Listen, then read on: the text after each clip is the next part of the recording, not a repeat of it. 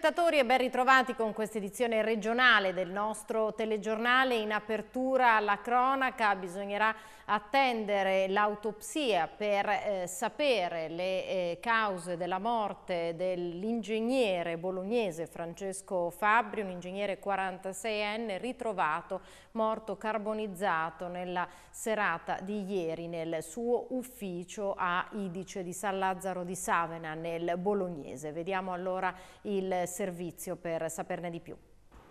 Contorni ancora poco chiari sulla morte dell'imprenditore bolognese, soltanto l'autopsia potrà svelare la vera causa del decesso di Francesco Fabbri, ingegnere di 46 anni, trovato semicarbonizzato ieri sera nel suo ufficio a Idice di San Lazzaro di Savena nel Bolognese. Il suicidio sembra l'ipotesi più probabile, ma i carabinieri non escludono nessuna pista dall'omicidio all'incidente.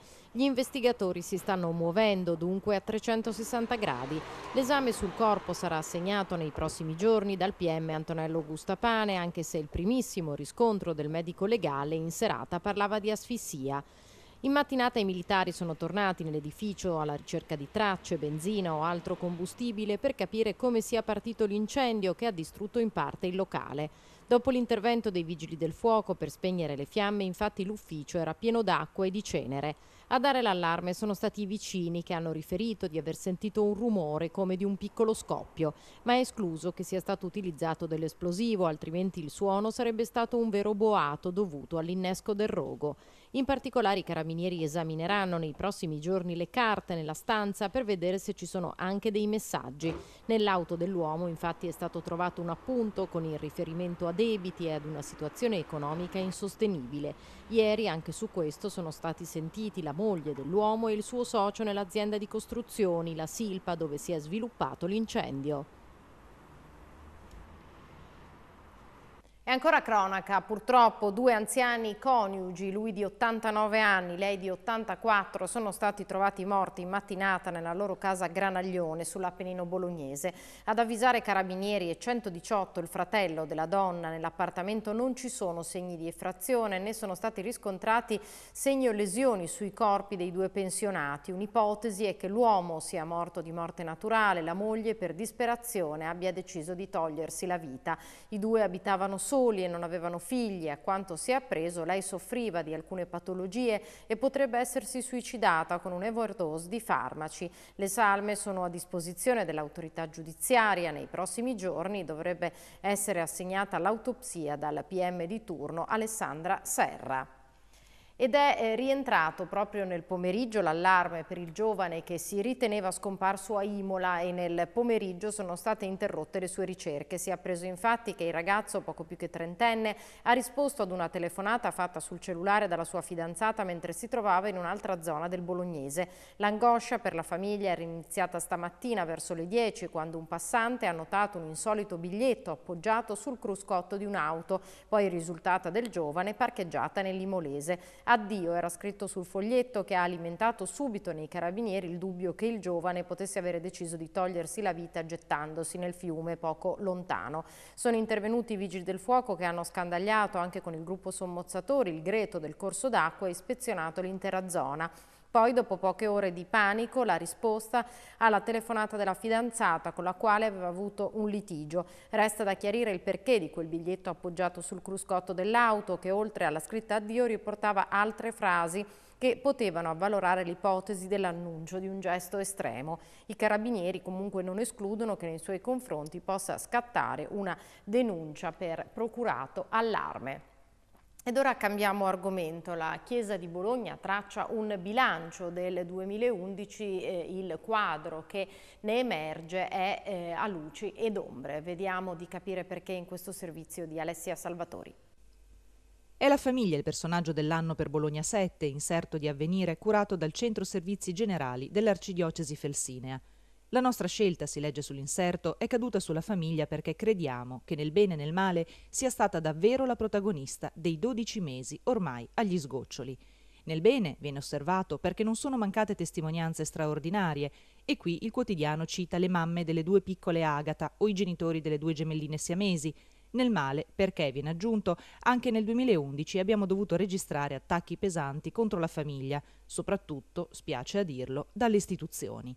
Due in particolare i casi individuati il ticket sanitario della regione, fortemente discriminatorio, e il recentissimo caso della consulta comunale, dove le associazioni familiari cattoliche sono state costrette a uscire, dopo l'inserimento della stessa consulta di associazioni vicine al mondo omosessuale. L'intero numero di Bologna 7 è dedicato alla famiglia, che viene sottolineato ancora, nonostante tutto, è ancora viva e lotta insieme a noi. E quello che si sta per chiudere dunque è stato un anno difficile sia dal punto di vista economico che politico. Le famiglie sono state messe a dura prova dalla crisi ma nonostante le difficoltà è emerso uno spirito solidale di comunità. Secondo l'arcivescovo di Modena e Nonantola, Monsignor Antonio Lanfranchi, sono queste le eh, priorità, le premesse su cui si dovrà puntare per il 2012. Vediamo allora questa intervista a Monsignor Lanfranchi realizzata dalla corrispondente di Modena Anna Ferri. L'anno che si sta concludendo, il 2011, è stato un anno molto difficile. La crisi economica e politica ha messo a dura prova le famiglie. Qual è il suo bilancio? La Chiesa fa terminare l'anno con il Te Deum, quindi con un inno di ringraziamento a Dio. Eh, perché questo ringraziamento? Perché mh, se noi... Eh, eh, mettessimo sulla bilancia le cose positive e quelle negative, probabilmente andremmo in rosso, no? quindi dovremmo, non avremmo motivi per ringraziare.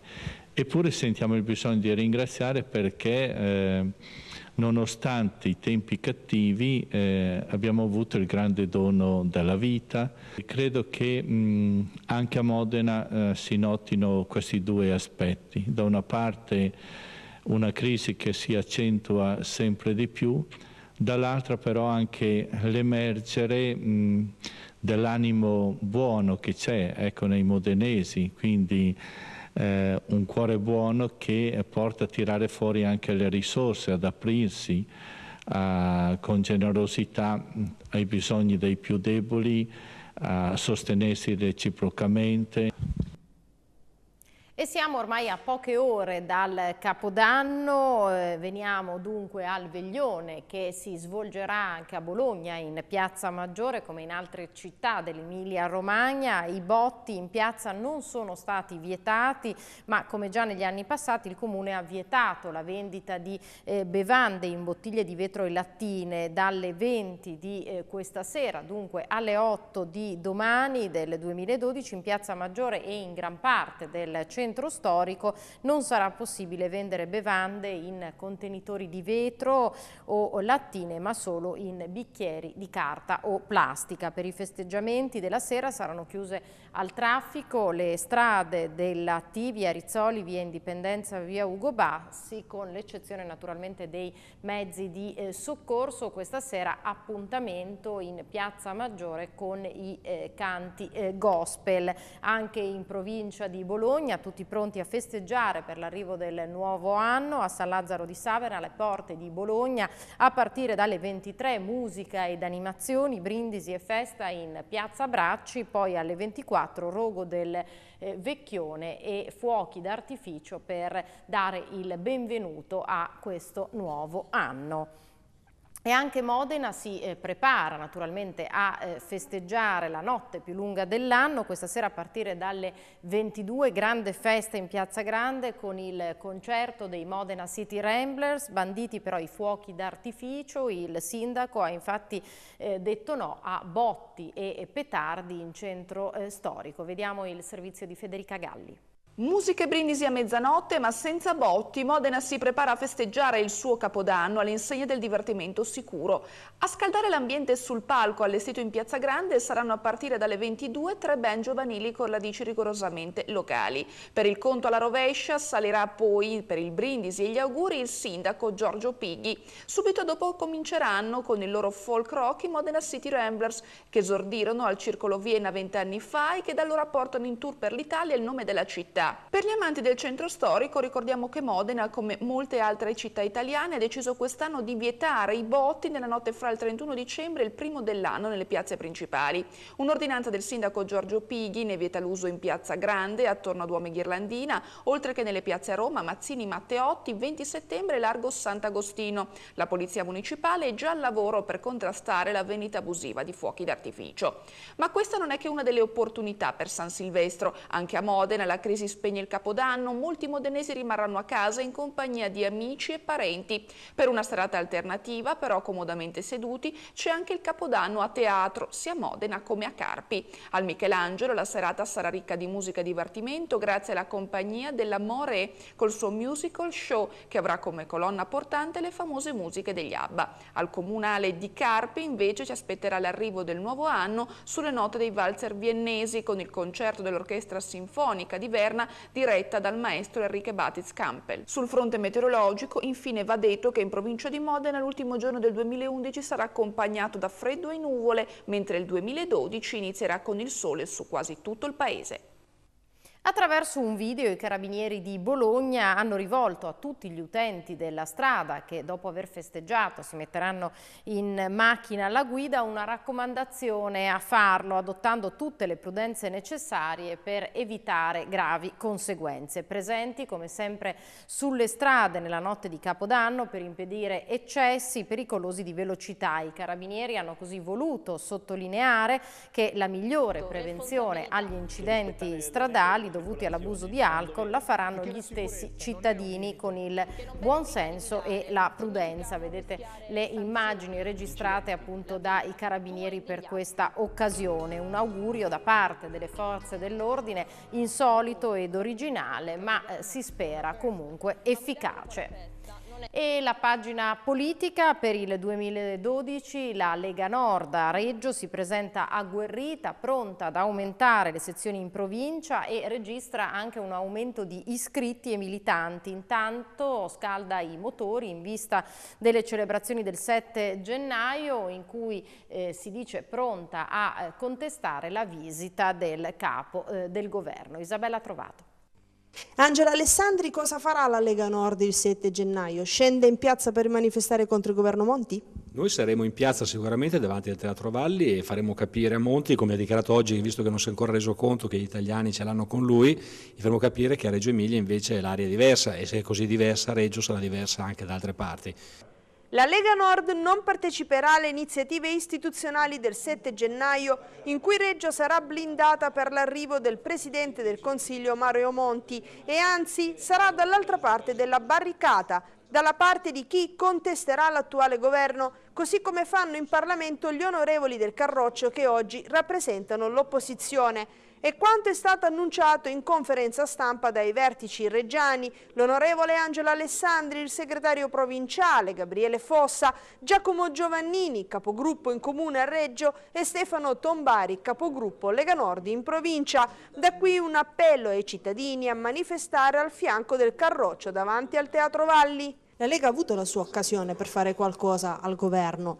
Monti oggi c'è perché la Lega non c'è riuscita insieme a Berlusconi, forse è così? No, non è così. Noi siamo stati aggrediti da una crisi internazionale molto pesante. Noi quando abbiamo dovuto fare qualche intervento, proprio mettere a posto i conti, abbiamo sempre cercato di avere come faro di non toccare le pensioni, di non, di non aumentare le tasse. Questo non l'abbiamo mai fatto. Abbiamo tolto anche l'ICI, che era una tassa odiosa perché era quella sulla prima casa, visto che l'84% degli italiani ha la casa di, residenza, di proprietà, ci sembrava odiosa, l'abbiamo tolta con molti sacrifici. Lui appena arrivato l'ha reintrodotta, ha aumentato aumentato gli estimi ha aumentato gli indici, per cui raddoppia o triplica per tutti. Intanto per il 2012 la Lega mira a fortificare la presenza in montagna con la creazione di tre nuove sezioni, mentre su tutto il territorio registra un aumento del 35% degli iscritti dal 2010 ad oggi e il 15% in più di militanti. E con la politica si chiude questa edizione serale del nostro telegiornale regionale. Grazie a tutti per averci seguito. A questo punto non mi resta che augurarvi una buona fine d'anno e naturalmente a tutti voi un sereno 2012.